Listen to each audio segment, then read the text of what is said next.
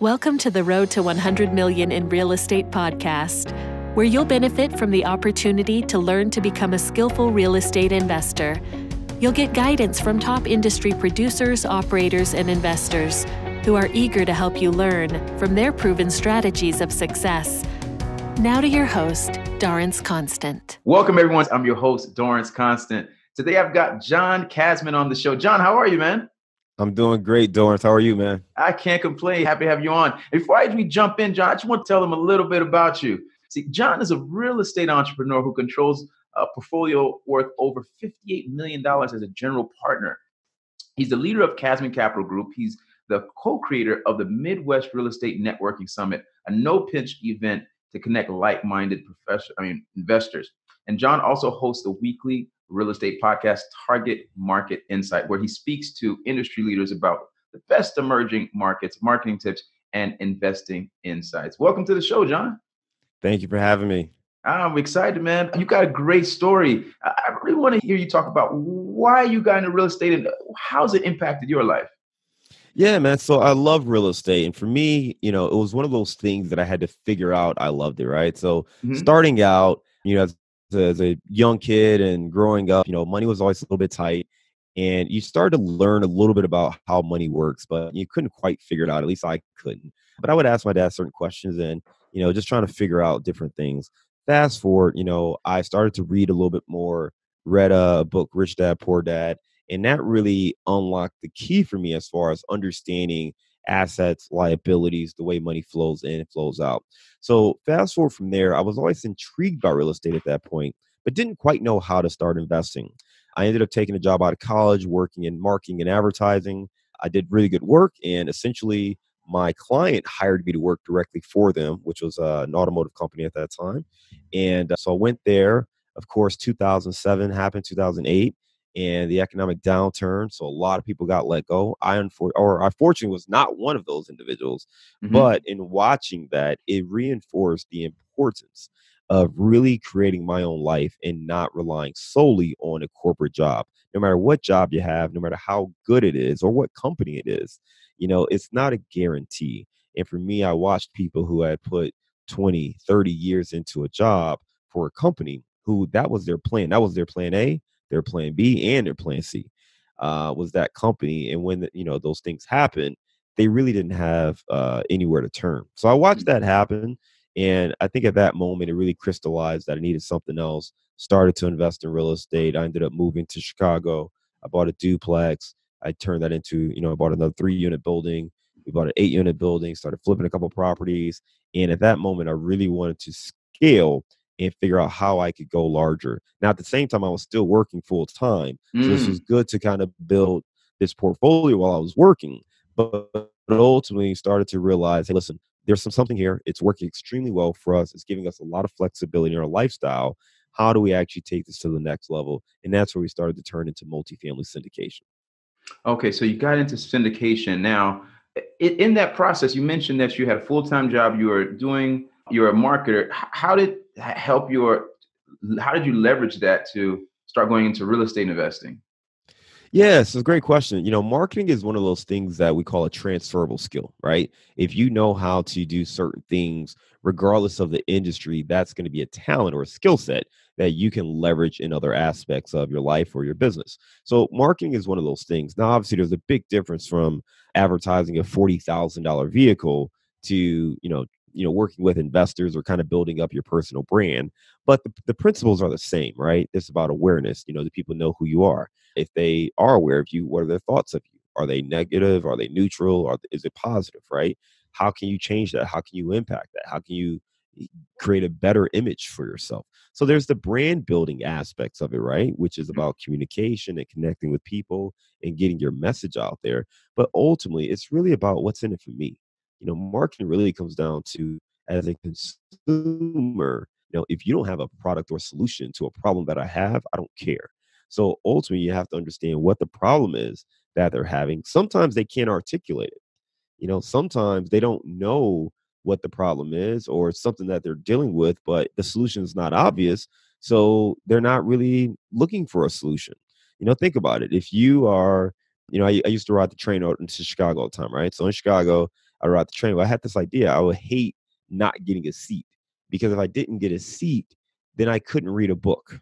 Mm-hmm. Yeah, I can. I mean, some people can like stand and not hold on to a rail. I had to hold on to a rail, so I couldn't read a book, hold on to a rail, and do all that at one time. Right. So for me, it was like that was an issue.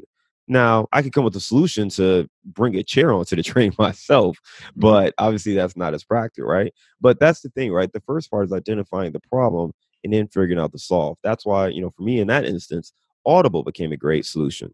You know, instead of trying to physically hold a book while I'm in the middle of a busy train with people knocking you around, you know, just putting an audio book on was the solution for that problem, right? So it's finding different ways like that as a marketer to figure out what is the problem that people are having and how do you drive solutions. And with this, with multifamily, I realized that a lot of people love the benefits. Who doesn't want passive income? Who doesn't want money just showing up in their bank account, right? Right. Money showing up in a bank account, saving on taxes, creating diversified portfolios. I mean, those are things that many people want. I don't know anyone who doesn't want those things. The challenge is the amount of effort and work that it takes to educate yourself, build a portfolio, find the right people, find the right deals, and then manage it, manage the tenants, the headaches that come with being a landlord. Those are the things that people they don't see the value in that. So how do we solve that? And that's where multifamily syndication becomes a great aspect. Right. And I love that you were able to recognize the transferable skills that you've had in your in your current path. Because sometimes when folks are moving into something new, let's say real estate investing, as we're talking about, it's like, how do I identify, you know, what I'm good at here, then transfer it over. And you managed to do those. So that's huge. So for a lot of folks who are listening, you know, a lot of the questions that you were asking are, are some questions that we should be asking ourselves to be moving into real estate or whatever it is, frankly, because uh, a lot of times we don't want to take for granted the skill sets that we have. Yeah, you know, I think you should do a kind of an internal, you know, look and ask yourself a couple of questions. One, what do you love? to what are you good at and hopefully they're the same things all right or you have some things on that list that align and you can take something that you love and you're good at and that's the thing you really want to focus in on right you don't have to be great at everything most of us are not like some people will never be a great uh, numbers guy or underwriter some people will never be great raising capital or talking to investors because it's just not something they're really comfortable with mm-hmm. but there's probably something that you do that is transferable because multifamily is so broad. I mean, think about it. There's everything from finding a deal to negotiating to raising capital to working with tenants to construction to budgeting to finance and legal and you know so many aspects of it that there has to be something in that space that you're probably pretty good at and you enjoy that could be transferable if you want to get into multifamily real estate, whether it be syndication or just multifamily in general, there's probably something you enjoy that would have some skills that were transferable into the multifamily landscape. Right. So let's talk about how you did it. Let's first talk about what is your business model and uh, amongst your team, what is your role within the team? Yeah, so I mean, there are a couple things that I do. I'm an asset manager as well as being kind of investor relations an asset manager, what that means is basically I'm overseeing the property management team. So on some deals I do that, on other deals I don't. But typically that entails, you know, reaching out to the property manager, checking reports, scheduling consistent calls, going over operations, uh, making sure the business plan is being implemented, and then helping to oversee any challenges that may arise in the business, right? So that's the asset manager piece of it. As far as investor relations, that's everything from finding investors to educating them on deals that we have to getting them set up to invest in the deals and then ongoing communications once we're actually invested in a deal so those are kind of the two main primary things that i do and in some capacities i help find deals and do other aspects as well but i think the key there is really just you know building out all the aspects of asset management and investor relations those are kind of the primary elements right and so with your marketing experience how do you leverage that to gain more gain investors for your deals? Well, I think the first thing is, you know, um, having to step back because people knew me as a marketer. And I think that anyone who listening to this, if you haven't done a syndication or you haven't invested, people in your network are going to know you for what they know, right? They're going to know you as my friend from college or the buddy I went to, you know, this wedding with or whatever, right? That's who they know you as. So to just pop up one day and be a multifamily syndicator is going to be a little bit odd for for people to take that in. So I think the first thing you have to do is really start to educate people on your interest in multifamily.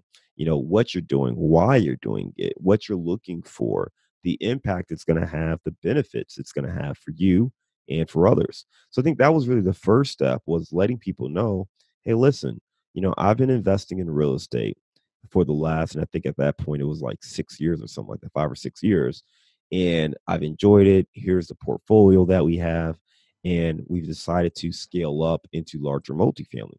So at that moment, I already had a one and a half million dollar portfolio and a personal portfolio between my wife and I.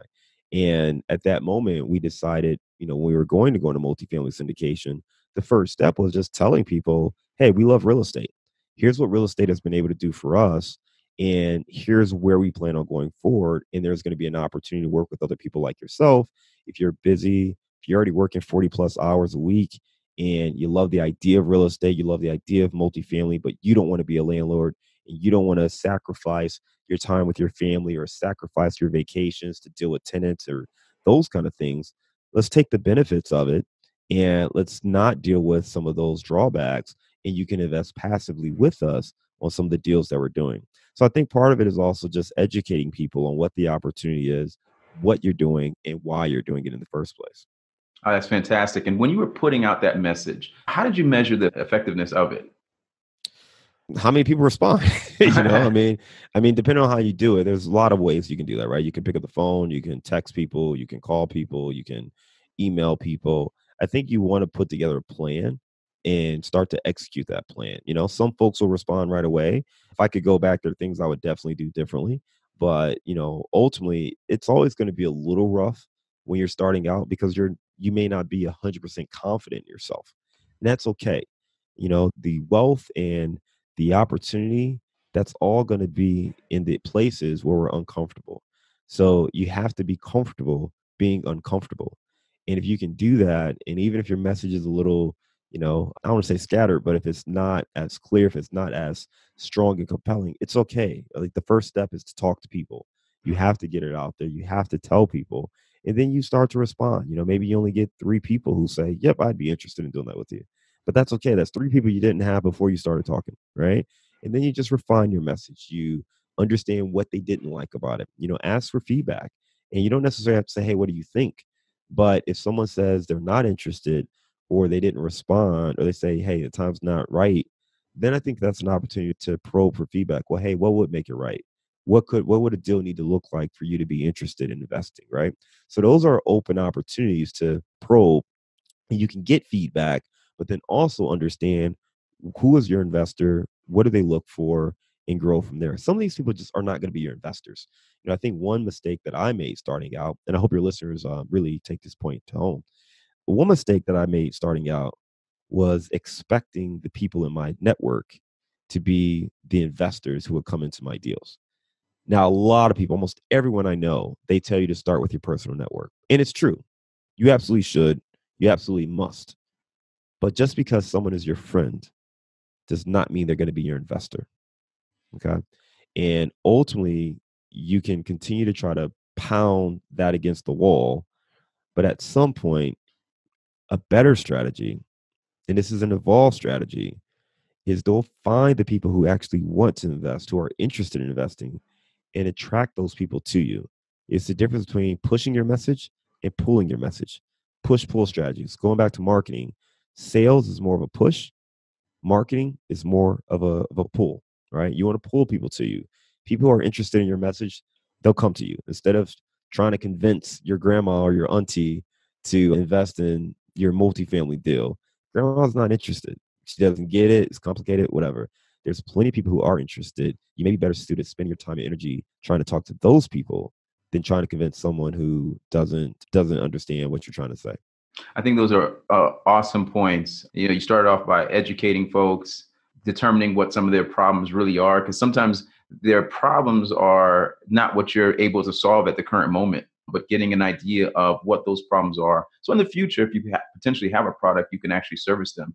So let's talk about this So we we get some of these folks they're maybe not interested at the current moment. Maybe we don't have the proper solutions for them, and that's okay. But what do you do to keep them engaged uh, once they at least enter, you know, your world? Yeah. So I mean, one big tip for your listeners here is you want to create a CRM system. Okay, that's a customer relationship marketing system.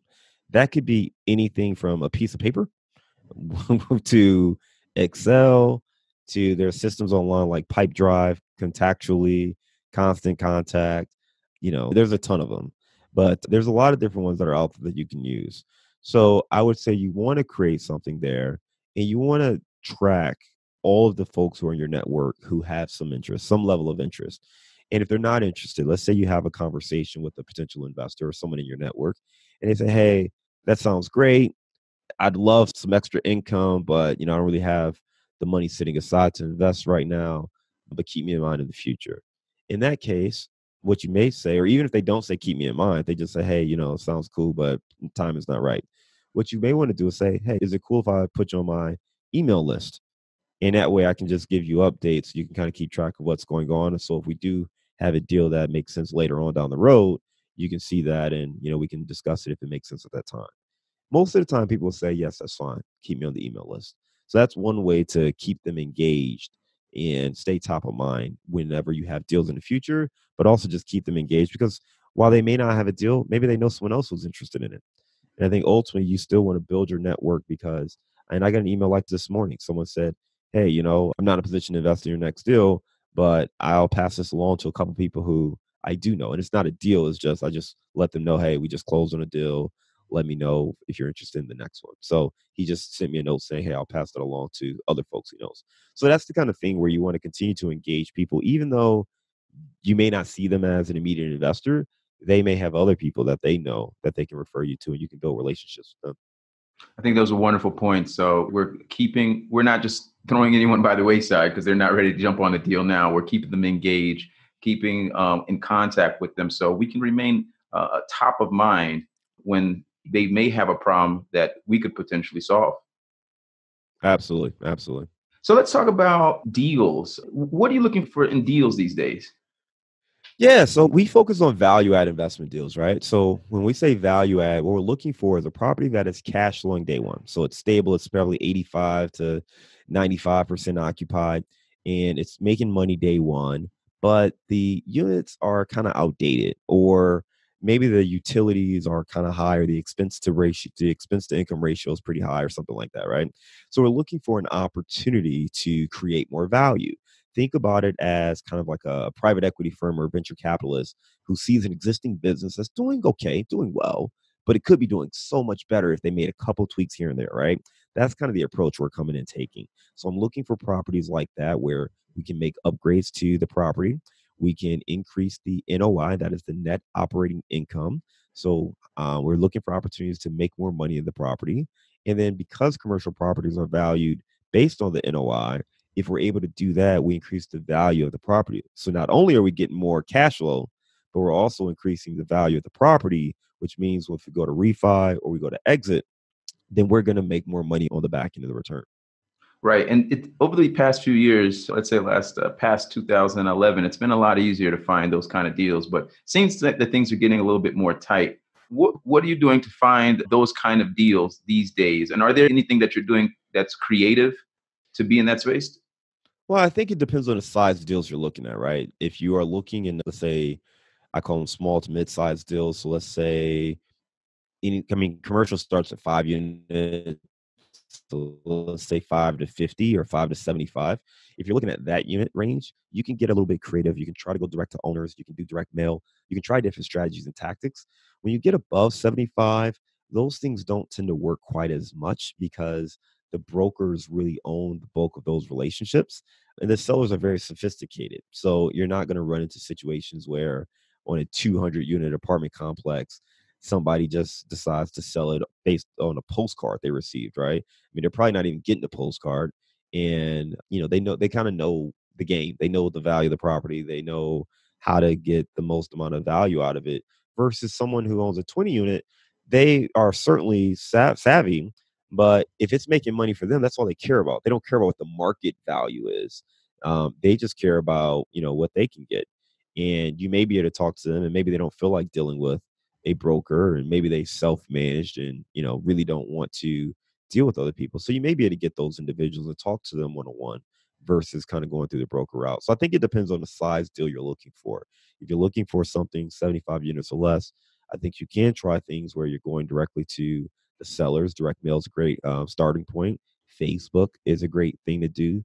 Skip tracing, where you can go and look up the property owners, find the LLC, figure out who owns the LLC, get an email, get a phone number, and try to reach out to them that way. That's another phenomenal strategy and tactic. But ultimately, it's still going to come down to building rapport and building confidence with that owner, right? Um, that's going to be the best way to do it. On the larger stuff, what you're really looking to do is build a relationship with those brokers. That's the first thing you want to do. You can try to go around the brokers, but again, I the brokers are going to have the lion's share of the deals and leads. So I would start there. You can work with property managers and other professionals who have direct relationships. A lot of property management companies also own their own properties. So you can find out, hey, is there anything in your portfolio you're looking to sell?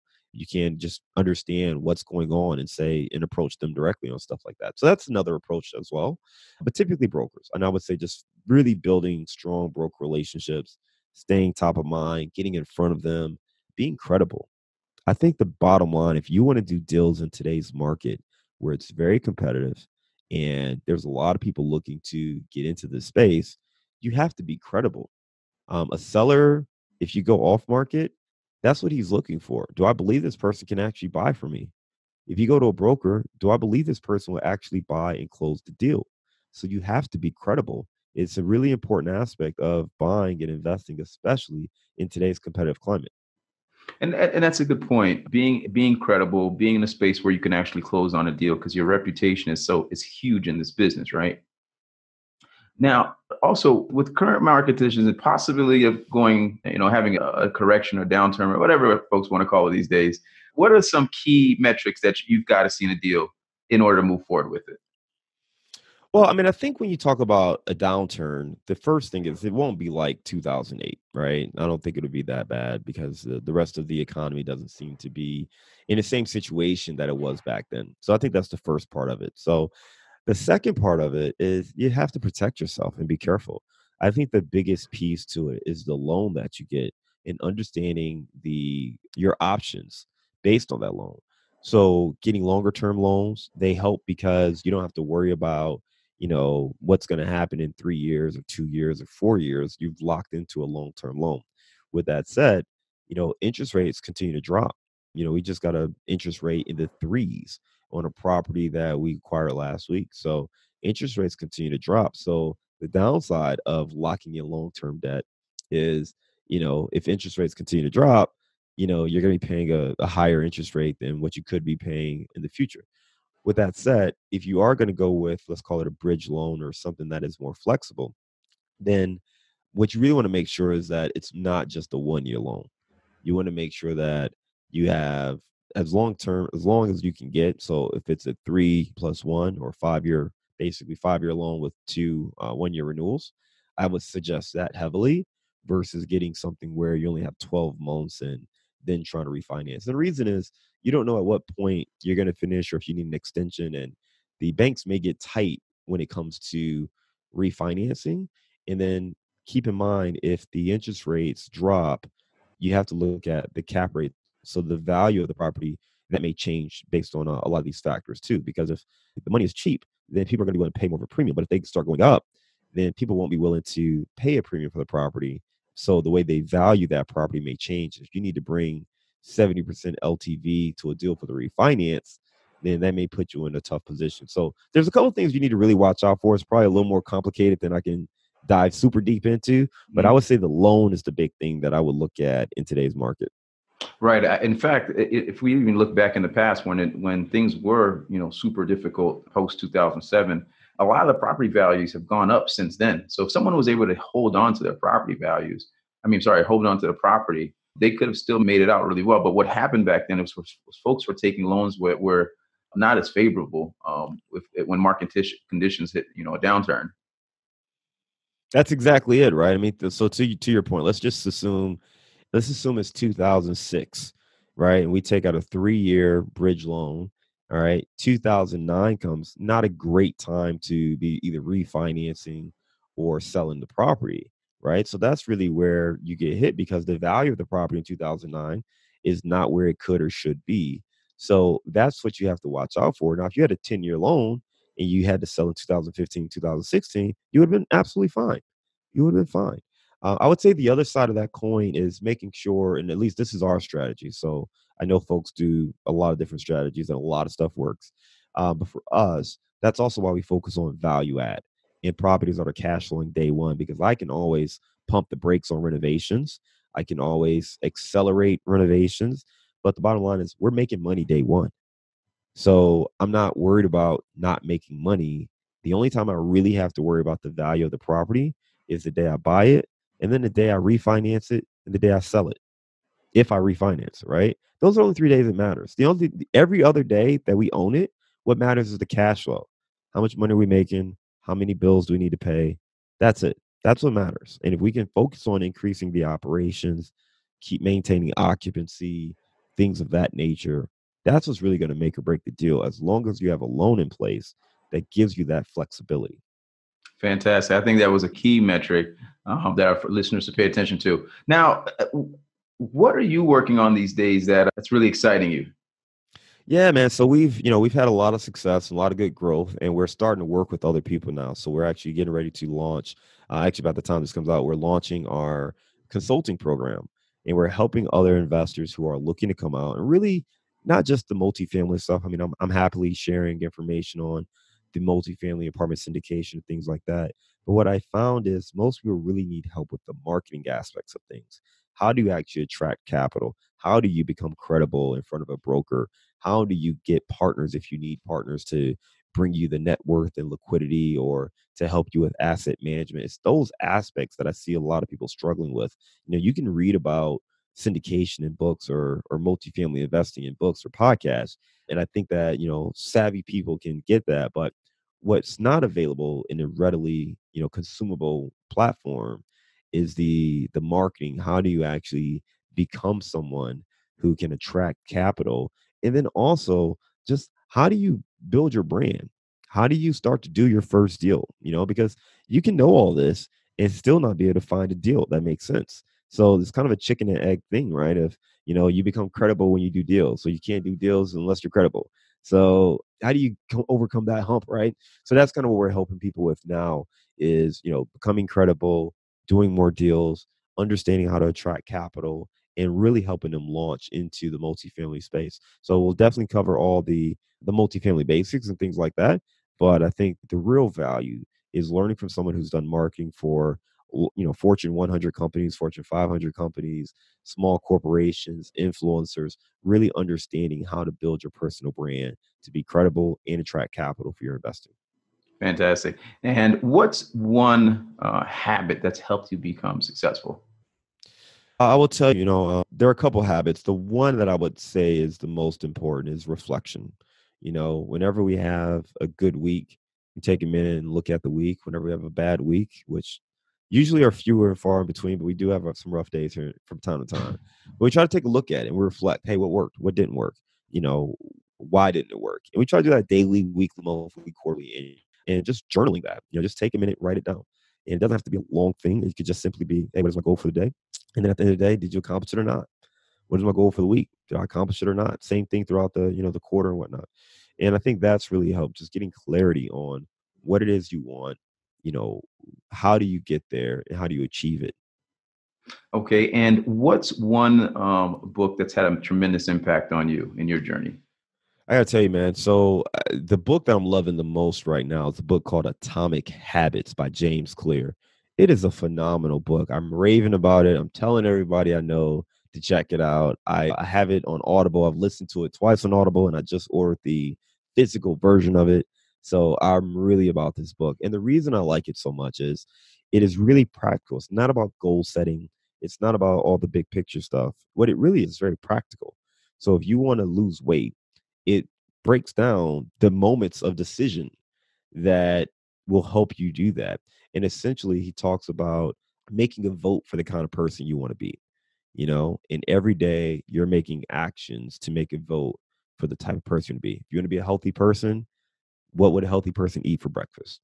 So you know by the time breakfast is so is over, whether or not you made a vote to be a healthy person or not. So it's not saying you're on a diet or you're healthy and all that stuff. It's really about just recognizing that you have a lot of moments of decisions where you can vote to be the type of person who eats healthy, or you can vote against that, you know, and making sure that you don't conflict with those two things. Fantastic. And John, you've dropped a lot of, you know, knowledge bombs today. We really appreciate you being very transparent. I'm sure our folks are going to want to reach out to you. Uh, what's the best way to contact you? Yeah, the easiest thing is email john at casmoncapital.com. That's the easiest thing. I am also on LinkedIn, so you can hit me up on LinkedIn. Fantastic. Well, John, it's been great having you on the show. You again, you've really gave our audience something, a lot to chew on and think about, and also implement. So, really appreciate that and you coming on the show today. Thank you for having me. We trust that you enjoyed today's show. Visit archcapital.ventures to learn more about how you can leverage real estate investing to improve your life through passive income, financial freedom, and generational wealth.